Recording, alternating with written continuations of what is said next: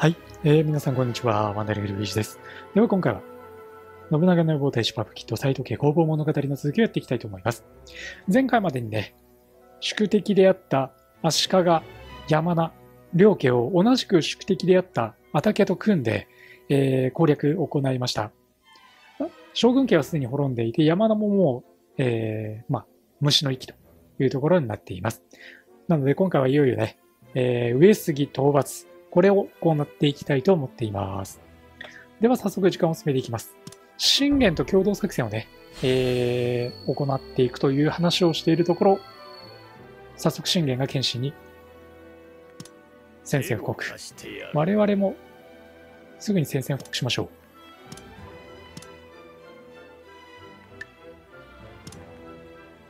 う。で、すぐに兵を出します。容赦はせぬぞ。に参ったぞ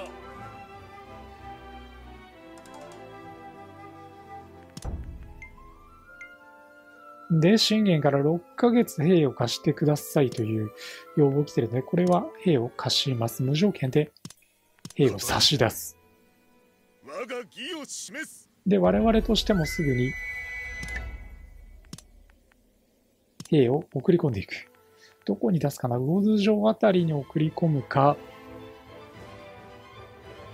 富山城か。まあ、信玄軍がおそらく高岡富山とあっという間に落とすと思うので、我々は魚津城まで行きましょう。秀吉3万1000。兵の数増やせるならもうちょっと増やしたいな。ここは少し思案をしましょうか。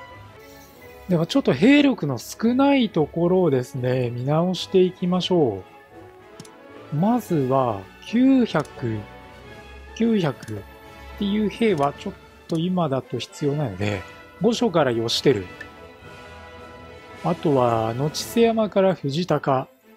この辺りを出しましょう。で、総大将が秀吉か、1400。秀吉はあんまり前に出せないですね。代わりに主力として、長政、6800。え、義輝7200。和正5000。直政7800。この辺りを主力として使っていきましょう。で、作兵衛。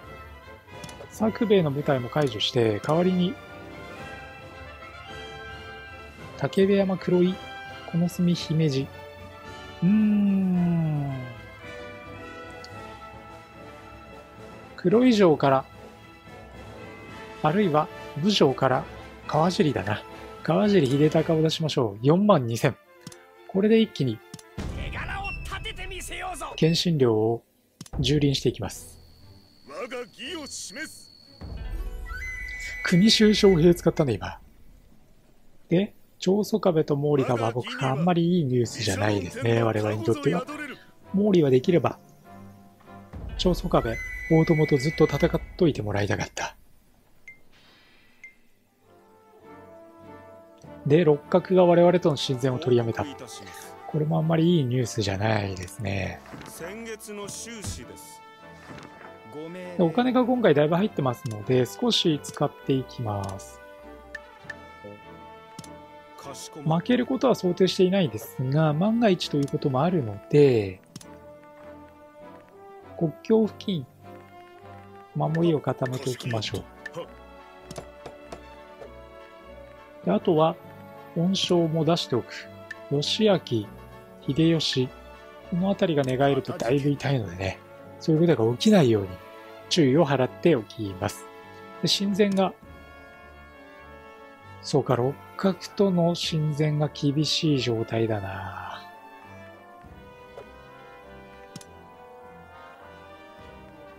畑とは仲良くしておく必要あるし、信玄も大丈夫。北条とは同盟が延長できるように親善を送っておきましょうか。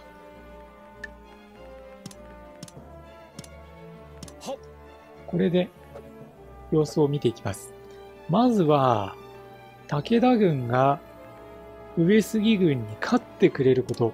この高岡城の戦い。これがね、第一条件ですからね。で、芦名と武田。片倉と武田勝頼がぶつかるんだな。武田軍2万。片倉軍、まあ、芦名軍ですね。1万4000。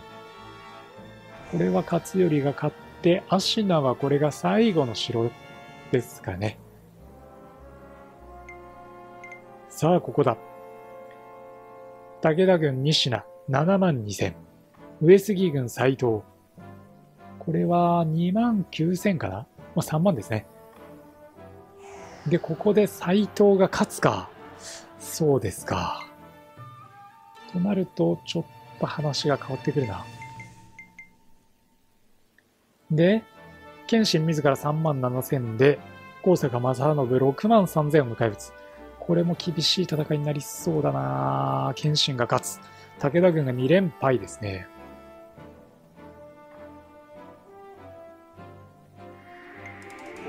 いやいや、やってくれるな、上杉。ここは兵糧のことを考えても、あんまり長期戦、長期対陣できる状態ではないわけなので、短期決戦である程度敵の城を削っておきたかったんですけどね。それにしたって、武田が2連敗。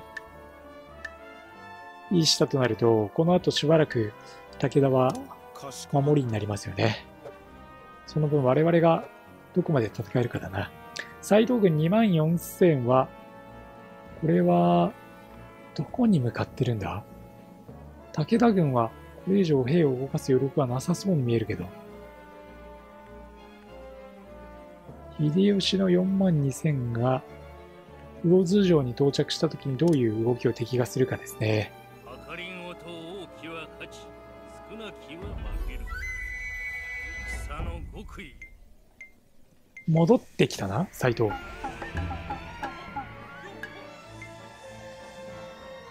で、小山田信繁、ちょっと兵の数見えないですが、これ信玄3万とぶつかるんだな。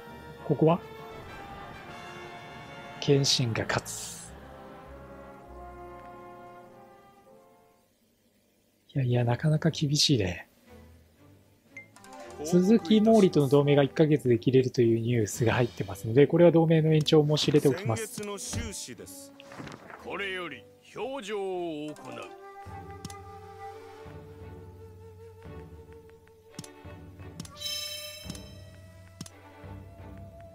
早速、忘れないうちにね、やっておきましょう。純粋農兵か。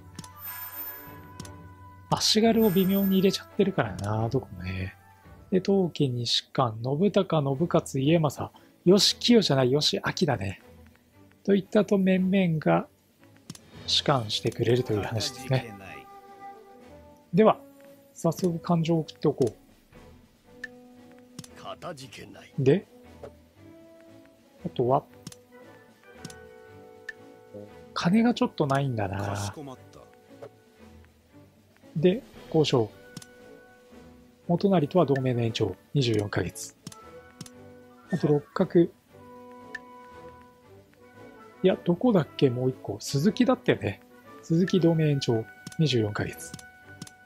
もう対上杉謙信に全ての注力をしておきたいですからね。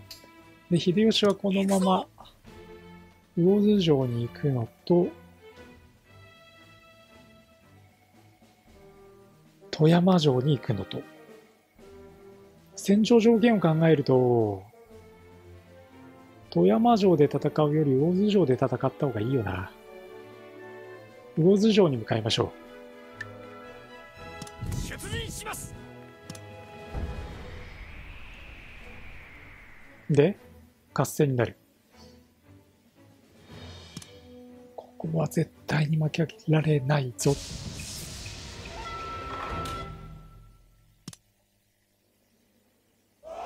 敵の兵の数は？2万4000、我々は4万2000。これなら勝てる。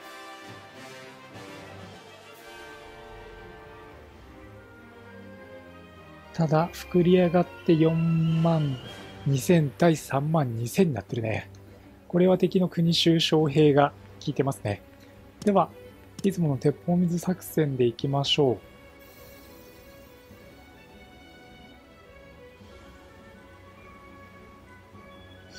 ってね、鉄砲水あんまり効かなそうだな。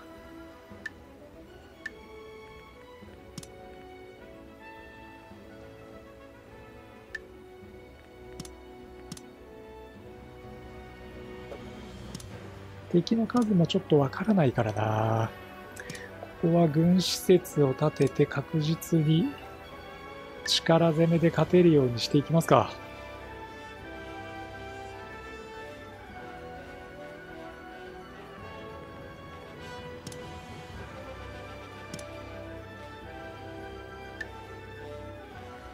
で、1円個もしていきます。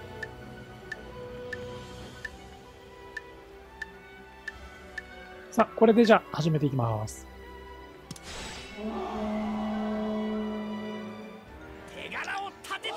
さて、まず敵が泥沼だったり、前火にはまってるところに鉄砲で打ちかけたいので、射程を考えた上で、前に出しておきましょう。覚悟せよ。命を覚悟せよ。ご命令ください。始めるぞ。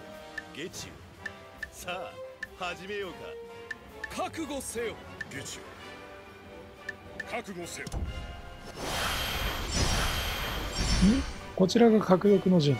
敵もどういう陣を張ってくるかまだわからないですけどまず敵のね、えー、主力がどこにいるかっていうのを確認したいですね。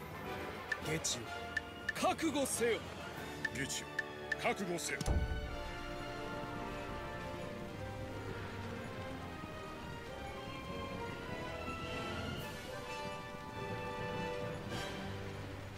では、ここから合戦一気に進めていきます。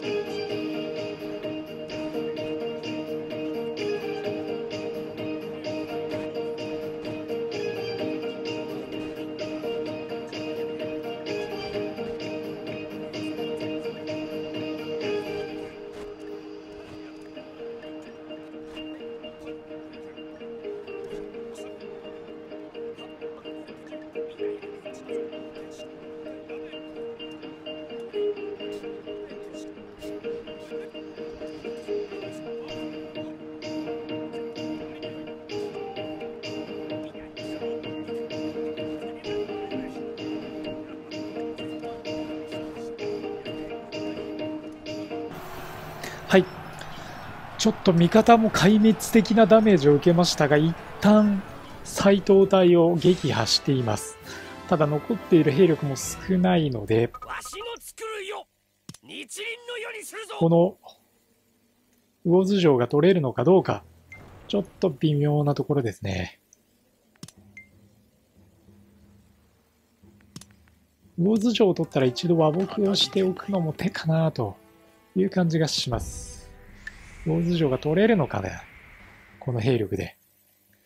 強行で26日。原神軍がおそらく戻ってくるんじゃないかなと思うんで、アタケと六角も和睦してますね。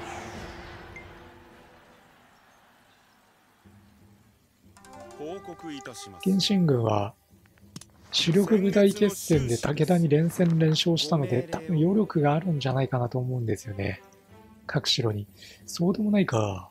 ただ、春日山に1万の兵が入ってるもんね。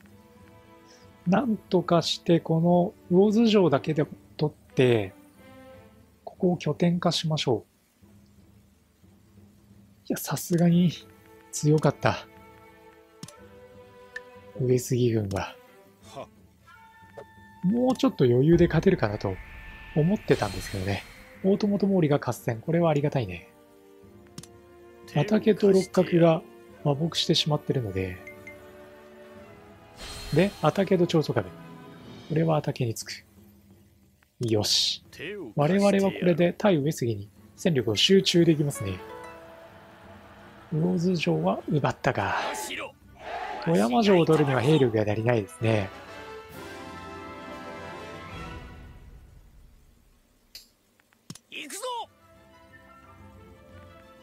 影勝攻めても兵が足りない。しょうがない。ここは一度騎乗しましょう。高岡城、富山城。この2つの城を孤立させただけでもまずは御の字かな。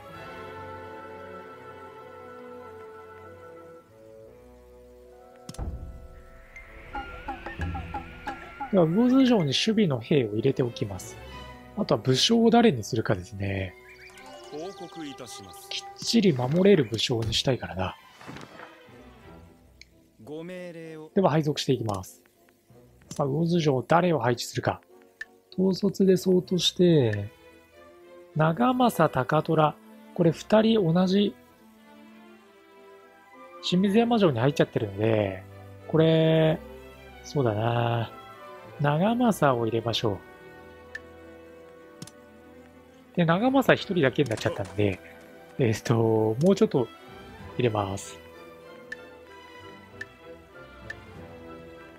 まあ、双葉山、稲葉山ですね。どこだ、その城。稲葉山あたりから人を入れます。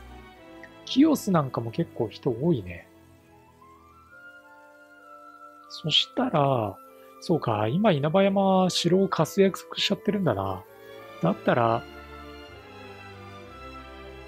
3人ほどキオスから入れましょう。で、あとは防兵だね。とにかく、ローズ城には兵の数を入れたい。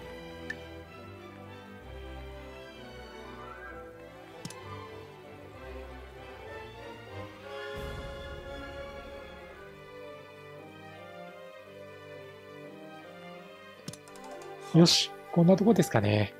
で、あと残ったお金で、準検所、ボール準検所と用意しておきます。は。ではこれで時間を進めます。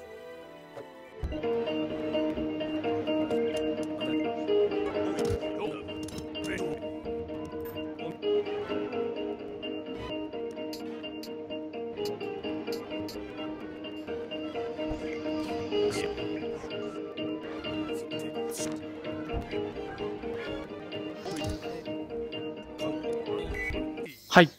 えーそしたら信玄が謙信と一旦和睦しましたので、我々もこれに追従する形で謙信と一旦和睦をしました。なので、和睦明けに再び、えー戦争をね、仕掛けていきたいというふうに思っています。というわけで、えー今回はじゃあここまでにさせていただいて、次回ですね、謙信との決戦に挑んでいきたいというふうに思います。はい。最後までご視聴ありがとうございました。内容いかがでしたでしょうか？ぜひ、えー皆さんの感想や、あとアドバイスですね、いただければ嬉しいなと思います。それと、チャンネル登録とツイッターのフォローもぜひぜひよろしくお願いいたします。